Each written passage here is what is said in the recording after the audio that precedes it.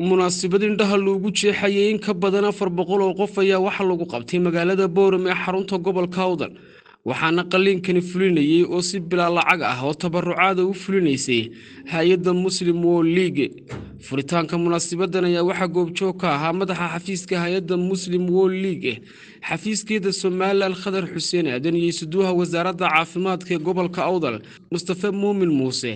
Iyo sidoo kale waxaa iyaguna goobjoog ka ahaa agaasimaha cusbitaalka adal doctor cabdiraxmaan jaamac haadi ugu hore halkaasi waxaa ka hadlay doctor khadar xuseen aadan oo ah madaxa xafiiska hay'adda muslim world league xafiiskeeda somalilan waxaana uu ka waramay qaliinadan indhaha ee sida bilaashka ah ay uga fulinayaan magaalada booram ee xarunta gobolka awdal. Maanta u taagannahay ibafurkii iyo xafladdii furitaanka kambeynka indhaha ee raabit alcaalam alislaami ama muslim world league ay sanad walba somalilan ka qaban jirtay.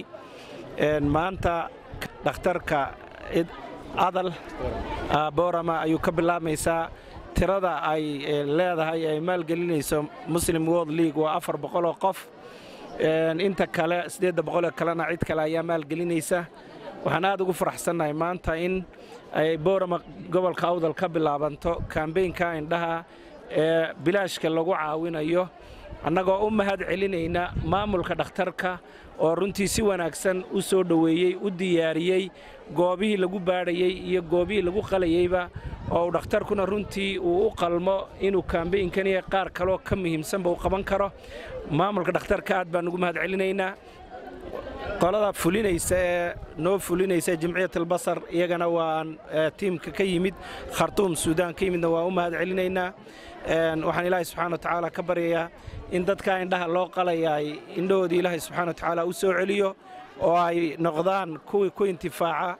Maanta hawsha ka socota gobolka awdal boorama magaalada boorama waxaan mar labaad u mahadnaqayaa tiimka ka shaqaynaya kambeynkan iyo maamulka dhakhtarka iyo jaamacadda dhammaan waan u mahad celinayaa. Waxaan ilaahay wa tacaala mar labaad uga baryayaa in dadka indhaha loo qalayaa indhahoodii ay u soo noqdaan oo ay aragtidoodii u soo noqoto oo ay adduunyada noqdaan qaar wax arka iyagoo kolkii hore laga yaabo inay ama habagsanayeen ama waxba aan arkayn. Kambeynkani maaha kii koowaad insha allah kambeynno kale ayay qaban doontaa muslim world league.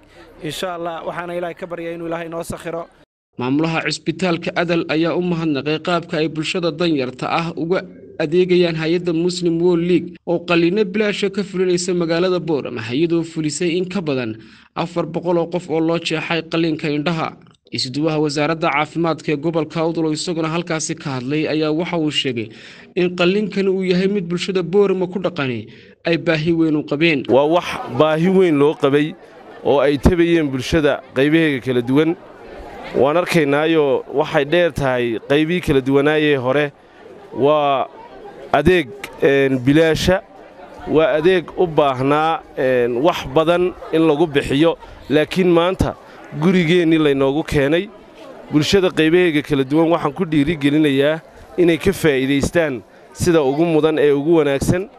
Mu'asasadaas waxaan ilaahay uga baryayaa in ilaahay xasanaadkaasi uu ajarka ugu daro oo ka siiyo muslim world league ayaa ah hay'ad ka shaqaysa islamarkaasina u adeegta bulshooyinka danyarta. Waxaanay magaalada boorama ka fuliyeen qalliin indhaha loogu jeexayay dad ka badan afar boqol oo qof. Maxamed aadan ismaaciil maxamed jiglan wararka bulsho